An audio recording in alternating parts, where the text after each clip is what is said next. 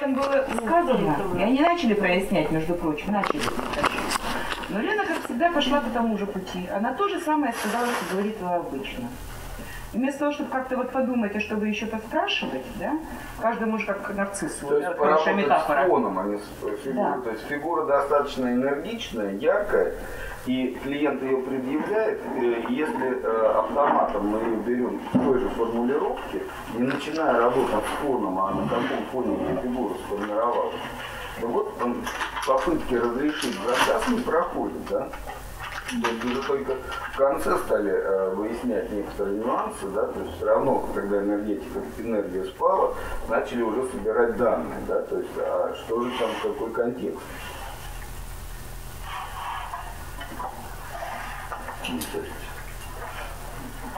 и в этом а, одна из действительно проблем, да, то есть клиент приходит, он э, энергетизирован э, своей проблемной ситуацией, то есть он хочет э, быстрого решения, избавления от этой ситуации, быстрых перемен, да, и если мы автоматом принимаем такой контракт, то дальше попадаем в ту же ловушку, что и сам клиент. Это, конечно, хорошо, все параллелит, да, становится понятно, как он в нее попадает. Но как-то продать такую историю не гештальтистам тяжело, да. Типа вот так у вас и в жизни, как мной, да. То есть вот как с этим проектом, так у вас и с другим. Э, И ну, как я для себя вот формулирую, а, вот клиент, как надо говорит, клиент всегда прав. Это половина правды. Он прав только в своем желании. И совершенно не прав в способе его реализации. То есть в желании перемен клиент прав. В способе, скорее всего, нет. Если бы у него был эффективный способ, да, мы- нас бы здесь не было. Да? Если он мне говорит, э, изменяйте, но изменяйте так, как я привык. Вот это одна из ловушек. Потому что если ты так привык, то опять же, ты бы ко мне не пришел. Конечно, клиенту можно резче об этом сообщить, ну, в индивидуальной терапии, да, а все-таки корпоративному клиенту приходится, ну, как-то мягче давать понять, что то, как вы проводите изменения, видимо, не, ну, не самый эффективный способ. То есть, если вы меня нанимаете как специалиста, то тогда как решать эту задачу, вы мне доверяете. Это вот тема делегирования и как раз власти да, специалиста. То есть, если вы признаете меня специалистом, то есть нанимаете, то тогда доверяйте мне способ решения, который я могу предлагать и с вами обсуждать, но способы идут от меня. Ваши, скорее всего, уже не канают. Ну, так, внутренняя правда моя, да. И здесь вот эта вот тема начального доверия с той стороны, и сколько мне его нужно, да, и моя готовность взять ответственность за это. Ну, свою работу, что я буду определять, как это меня. Ну и первое, это вот парадоксальный ход, начать работать с фоном, то, что казалось незначимым. Ну, что накопали в четвертой э, части, в принципе, да? Ну, а реальные отношения, диспозиция, распределение власти, да, там, между двумя героинями. То есть, где, собственно, на каком фоне все это происходит? Поэтому работа такая энергичная, и опять же, красивая иллюстрация, что когда накапливается незавершенное действие там, в течение 10 лет, понятно, что накапливается много вот этой рефлексированной агрессии, которая в той или иной мере выделяется, затем она начинает будоражить поле, да, ну, поскольку в группе, откуда вдруг, с чего бы это так вспыхнуло тоже, ответной агрессивности и готовности действовать, ну, некоторый резонанс. Готовность, что на начальном этапе изменений можно столкнуться с высоким уровнем агрессивности. Ну, поскольку если иметь дело не, не с очень воспитанными людьми, да, вот. И мне как раз нравилось, что ты в своих интервенциях была ну, максимально так это пряма, открыта, и это давало разрешение на такое же поведение участникам. Только действительно особо опасны люди интеллигентные. Только они лет 10, ну, в общем, это таят, таят, а потом... Да-да-да-да-да. И не зря здесь была тема о том, что страшно уже, да? Ну, ясно, что контролирую, не контролирую, но некоторые невербальные проявления все-таки они показывают, да? Тогда как с безопасностью обходиться, да, руководитель там уже. Вот, поэтому понятно, что управлять не особо интеллигентным персоналом легче, чем особо интеллигентным. Ну вот учителями, врачами тяжелее, чем какими-нибудь ну, там реальными водителями. водителями. Да, ну в общем сказал, что Вася, ты не прав, да, что льешь мне расплавленный на голову за шею.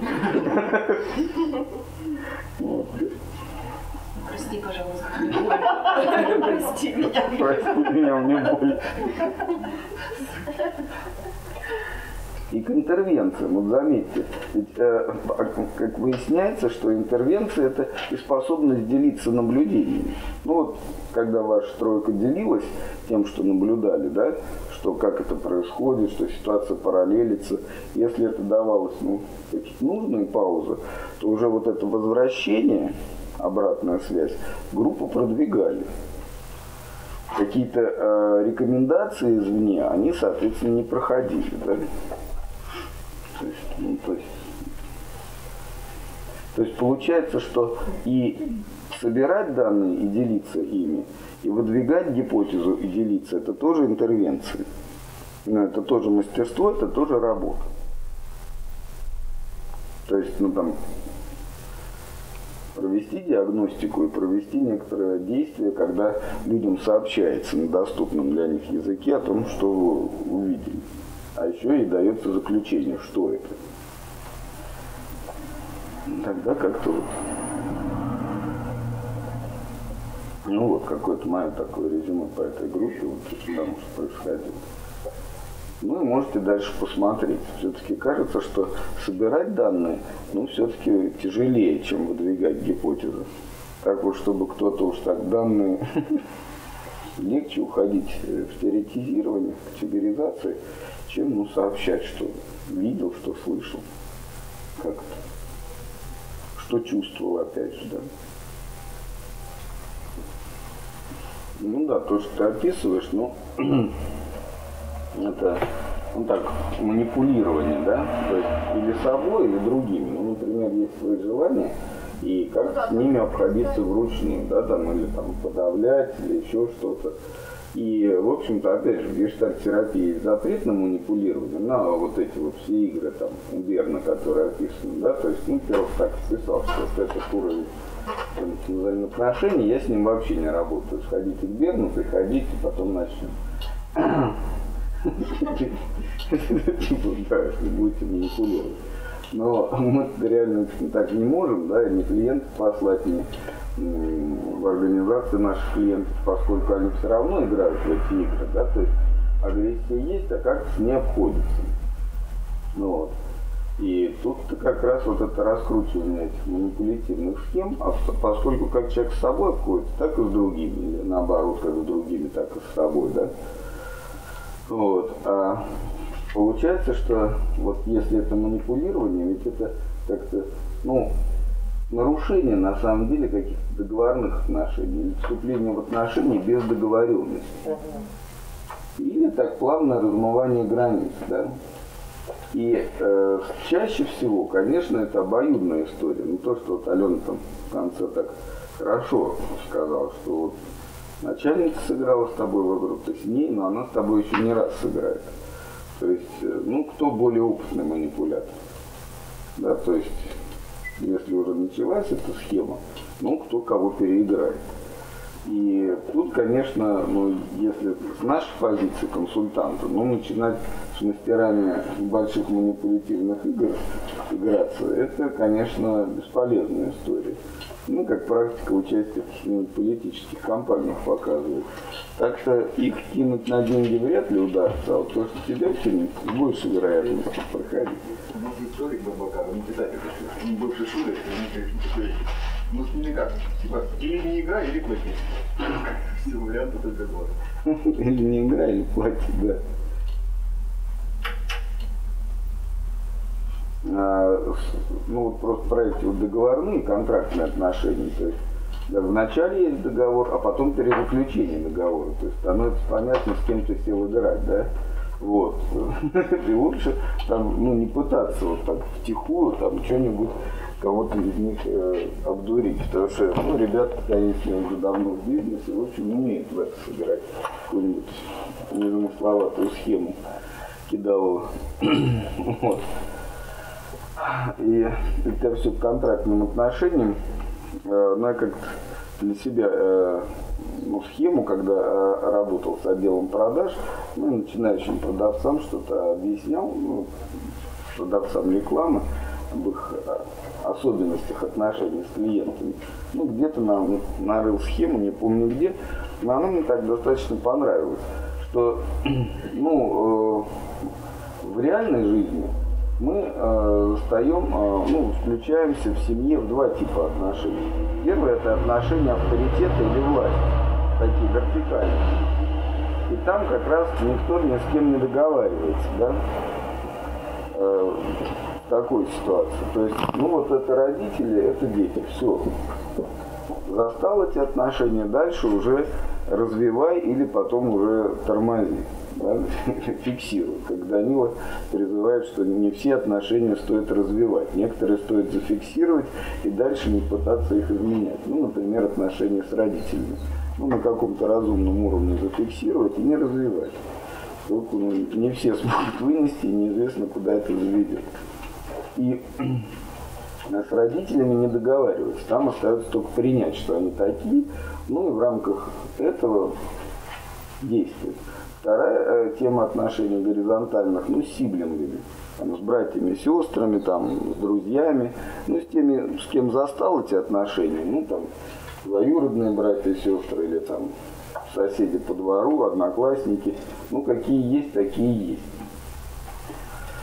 Это э, дистанция уже по а, горизонтали. Ну, насколько близким нужно быть, открытым, сколько, чем делиться, чем не делиться, да, вот. Ну, много каких-то вопросов. Что на что обменивать, как соревноваться, например, да. То есть, какие правила соревнований ну, хороши, а какие нет. Ну, например, в каких-то играх, если ты не, не финтишь, не дуришь противника, ну ты не игрок, да, то есть ну, сел играть в дурака, значит надо надурить. Вот. Но если ты в другой игре, могут и канделябром обломить, если поймают, да. То есть игра дело серьезное. Ну да, это умение придерживаться правил. Понятно, что ну, в каждом возрасте есть свои правила. Когда-то это кодекс чести, там не врать, ничего-то. Когда-то, ну, другие понятия вступают, там, подкалывать там друг друга, да, там еще что-то. Кто кого интереснее подколет, приколит, вот, да, вот тоже способность такая. О. И а, эти отношения тоже э, не строятся на договоренности. Но какие есть, такие есть. А в организации, соответственно, есть отношения вертикальные и горизонтальные, но они оговаривают. Вот, то есть к чему? Контрактности, взаимодоговорные, взаимно оговариваются и имеют временный характер или временной. И множество проблем как раз э, в семейном или там товарищеском бизнесе, что когда его начинали, не строили как контрактные отношения а строили как э, дружеские, или семейные. И никогда не оговаривался время действия контракта. У контракта всегда есть срок. Вот чем он хорош? Нам пожили сколько-то лет свободно. И не нужно друг друга изводить. Вот. Но контракт по принципу и только смерть разлучит нас, чреват. Да? Смертью. За- желанием приблизиться. Да, в общем, в этот момент так или иначе приблизить. То есть, это какое-то время. Ну и, соответственно, вот и получается, что и контракт на изменения, и контракт на работу хорошо, если носит вот этот временной характер. И зачастую действительно одна из тем, как перейти от, бессрочных трудовых отношений к э, с- ну, вре- временным, да? То есть, э, ну, скажем, там два брата, да, как им вдруг сесть и поделить бизнес. Ну или как-то произвести договоренность о том, как им управлять, как, какие прибыли получать. Или там друзьям, да. То есть, ну, переход вот от бессрочной системы к срочной.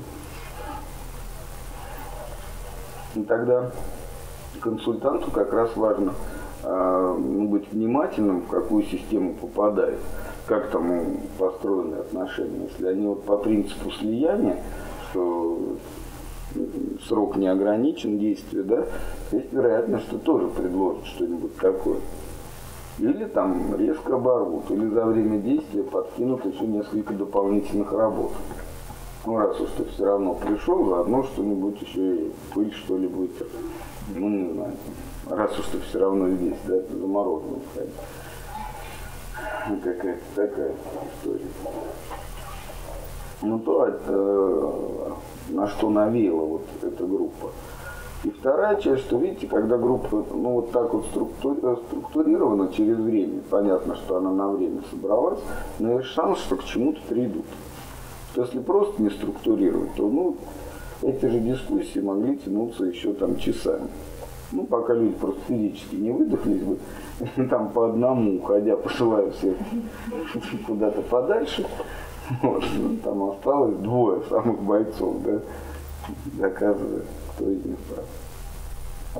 А если время ограничено, ну тогда можно действительно сидеть спокойно, потому что знаешь, время закончится. Но это стимулирует к некоторым изменениям, поскольку время конечное. Хочется быть внимательным. Ну, вот такие вот мысли по поводу происшедшего.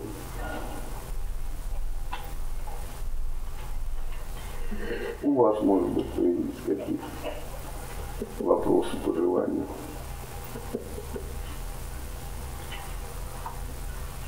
У меня есть вопрос, но, наверное, ну, где-то не... Ну, в целом, то, что за э, трехдневку, да, ну, с первого дня еще. Очень отозвались слова про то, что э, руководитель, да, не может быть, э, организация не может учиться изменяться лучше, чем меняется руководитель. Э, И это вопрос, наверное, на уровне а, должностных инструкций, да? То есть если пишется такая штука, да, то она, в принципе, тогда должна писаться руководителем для самого себя, и консультант не может э, заниматься этой штукой. То есть фактически как бы становясь выше руководителя. То есть это скорее э, рекомендация Ну, руководителю, что если он хочет исполнения должностных инструкций от своих подчиненных, он как бы и, сам, и самому неплохо бы ее иметь и, ну, и исполнять тоже. Ну вот вообще вот, вот эта фишка с должностными инструкциями руководителя. Есть какие-то вот, э, в этом отношении ну, стандарты, а, ну какие-то вещи, которые чаще встречаются? Значит, не слышал про должностные инструкции директора даже в советское время. Вот. Наверное, там был какой-то документ, который регламентировал, в чем я лично сильно сомневаюсь. Поскольку, ну, как его не формализуй, там ну, огромная часть деятельности не, формализу- э, не- не формализуемая. Но, э, скажем, там скорее речь может идти о контракте. Если это наемный менеджер, то тогда понятно, то есть у него есть контракт с собственником. То есть что он может делать. Даже есть, э, с другой стороны, я сейчас что-то так соображаю, наверняка есть некоторые э, рамки, которые регламентируют деятельность руководителя. Но часто это уже кодекс какой-нибудь, там, это уже- о это уже труде, уголовный кодекс. уголовный, ну, трудовой кодекс, например, да. То есть, в принципе, то, что может быть извлечено, ну, за что его могут привлечь к гражданской или там к уголовной ответственности. В общем-то, да. Другое дело, что вот какая-то неформальная сторона. Ну, ты можешь там порекомендовать э, руководителю приходить утром, вот, и не задерживаться до 12. Здесь контроль, вопрос контроля, да, кто Ну, контролирует, да, когда если это собственник, то, в общем, он может... э, смысл теряется, Ну, да, можно как-то там убеждать и объяснять, и говорить, что, понимаете, вот там бухгалтерии вот, приходят они там, пусть даже к 11, да, но до 9 сидеть, все-таки у них там семья, дети, ну, да, ну, типа, не нравится, пусть не сидят, да. Пусть как-то налаживают процесс. В смысле такая интересная вырисовывается роль консультанта, возможно, сводить к минимуму вред от руководителя в организации. В принципе, может, могла бы работать при других условиях. Ну да, Такая почка такая.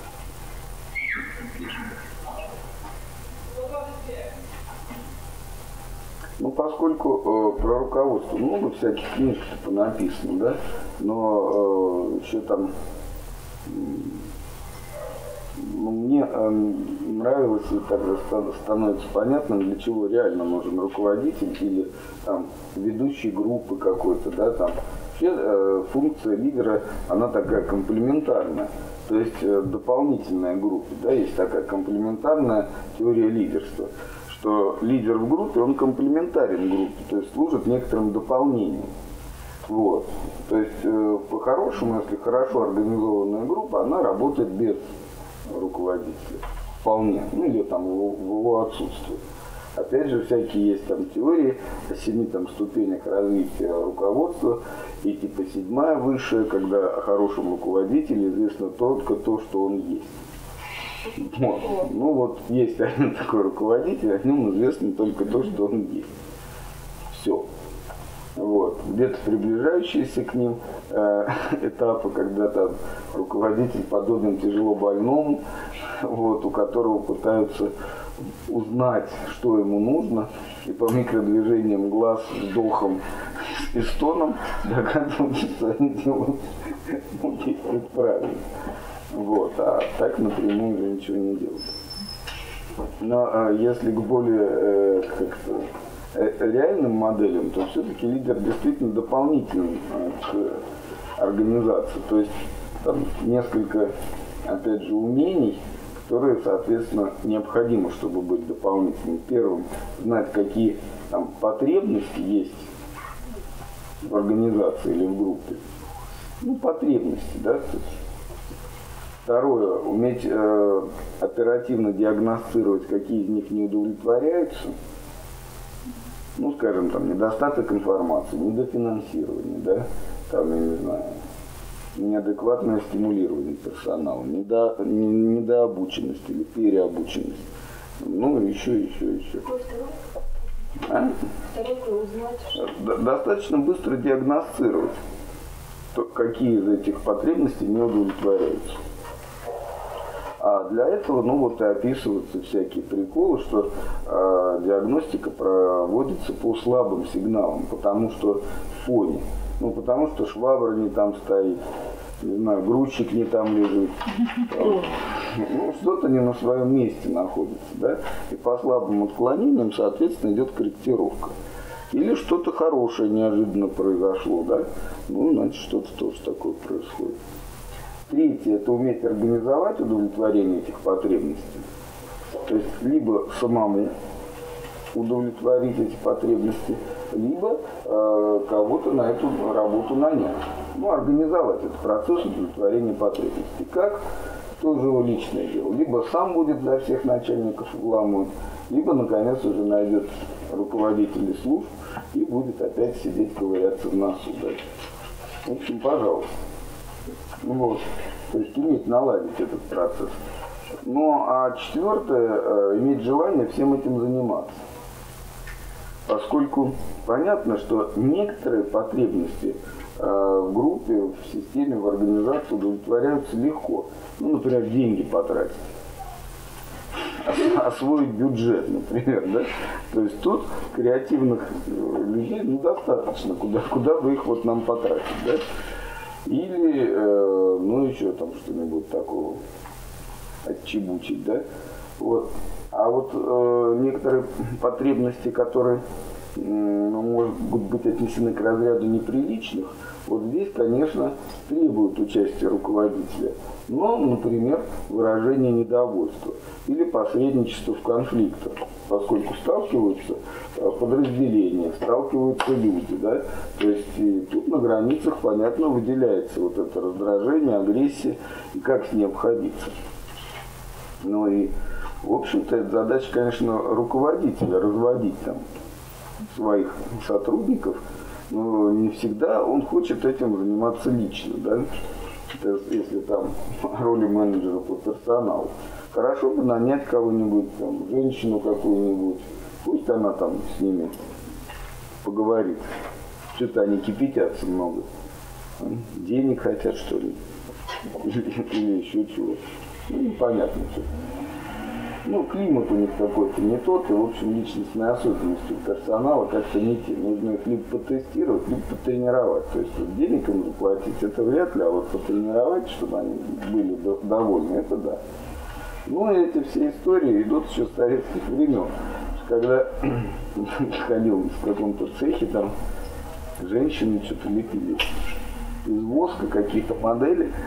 И мне начальник отдела кадров говорил, ты иди с ними побеседуй, проведи опрос, предложи какие-то меры такие, чтобы ну, у них вот прекратили все эти конфликты, вот это вот все. Я говорю, «А, ну а вдруг там, я говорю, какие-то объективные условия? Да какие объективные условия? Вот я где-то слышал на автовазе, на конвейере поставили друг напротив друга мужчина и женщина. И у них очень работа пошла хорошо, быстрее. Я так на него посмотрел, думаю, ну да, такой умный, что же эти женщины все бурлят и бурлят. Но в принципе сам факт прихода, и что их хоть о чем-то спрашивали, женщин как-то поддержал. В общем, ничего не изменилось, понятно, после написания да, отчета. На то, что с ними беседовали лично, там подходил какой-то молодой человек, что-то пытался понять в их тяжелой женской доле. Вот. Уже сам факт интереса как-то способствовал, конечно. Ну, то есть не всегда самому руководителю хочется этим заниматься. Вот э, и тогда вот с этой комплементарной функцией становится понятным, на какие позиции приглашают. И, в общем, становится понятным, что вот так, чтобы весь в белом, да, ты там ходил, а тебе еще и денег платили, ну, маловероятно. Что, видно, во всем белом долго не проходишь. Если будут платить, то, видно, выполнять какую-то черную работу, типа, как это, водолаза сантехника, да, там куда-то нырнуть, там тусоваться, тебе поорут. Уже пошло, да? Саша, а скажи первая функция какая? Знать, какие потребности в группе. В группе. Да вторая, я сказала, диагностика. первая. Нет, знать. Знать, какие есть. А. Вообще потребности. Да. Ну, какие, да. Ну. А какие потребности. диагностировать, да. Да. То есть, ну, хоть, Хоть какую-то схему, да, то есть для себя, то есть, что доброе делится. Воздух. Укуривает. Да, пошло. Так что вот такая тема с руководителями, с консультантами, которых они занимаются.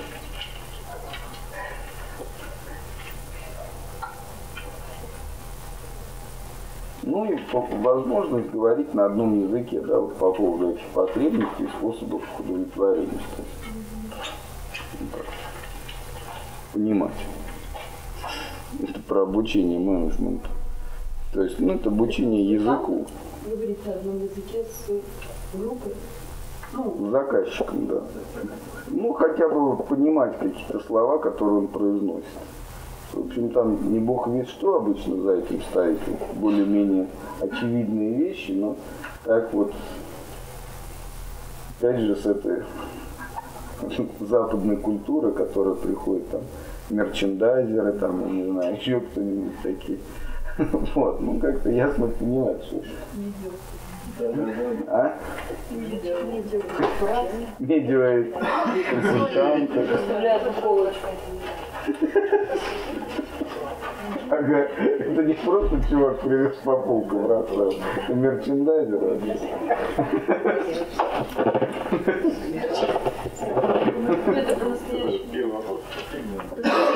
Этикетки проверяют. Как он быть расставлен правильно, неправильно? Продукция правильно? Нет, ну кто это по-настоящему? Я же тебе говорю, мерчендайзер, тот, кто расставляет по полкам товар. Например, а выкладку товара. это должно быть правильно. Это контролера. оформлять. Он раз сначала расставил все этикетки, проверил, чтобы она соответствовала тому, как они приговорят. взгляд падает, когда ты приходишь, справа налево. Вот там лучше всего там, так говорят. Ну, чтобы покупали его лучше. Ты сразу увидела? Вау, мне это. Вау. Или возле кассы шоколадки. Ну да, в советское время на витринах продавщицы сами выкладывали, а теперь в хороших там Понимаю. у- универсамах, Выкладывали да. прилавок, ты? Да, но было время, выкладывать было нечего. Банки с соком трехлитровые. Консервы этими башнями. А все это с, того крыльца. Ну да, в общем, Был бы такой сигаретный таких проблем не было, да, я понял. Поэтому специальности такой не было. Приходит. Да, покупали все. Ну вот, давайте подводить итоги, на- намечать перспективы. Как итог трех дней Женя начал?